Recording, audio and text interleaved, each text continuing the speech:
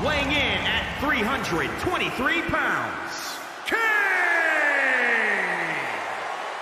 One of the most dominant, destructive forces in the history of WWE. Multiple world and tag team championships and more destruction to come.